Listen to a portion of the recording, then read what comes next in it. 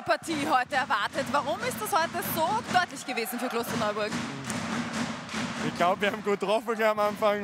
Wir sind gut reingekommen ins Spiel, waren dann gleich 10 Punkte vorne. Am Anfang drittes Viertel dann noch. Ähm, einen guten Run gehabt mit, keine Ahnung, drei, vier easy Layups und dann haben wir 20 Punkte vorne, das haben wir nicht mehr hergeben. Für alle kann ich jetzt nicht mitrechnen. Sie persönlich haben mit dem letzten Spiel sind Sie fast 75 Minuten am Spielfeld gestanden. Wie schaut es denn jetzt aus mit der Energie? Äh, noch immer gut. Ich bin ein junger Bub noch immer. Also es passt schon, ist noch genug da. Das trifft sich gut, denn nächste Woche ist das All-Star-Game. Da sind Sie vertreten für Ihre Mannschaft gemeinsam mit dem Kollegen hinter Ihnen. Ja? Was kann man denn sehen nächste Woche? Ja, Spaß, viele Highlights, viele Danks hoffentlich. Ich habe mir noch keine Gedanken darüber gemacht, aber es wird sicher lustig werden. Und die Stimmung, die passt wieder in Klosterneuburg. Auf jeden Fall, da sind alle happy, ja. Dankeschön.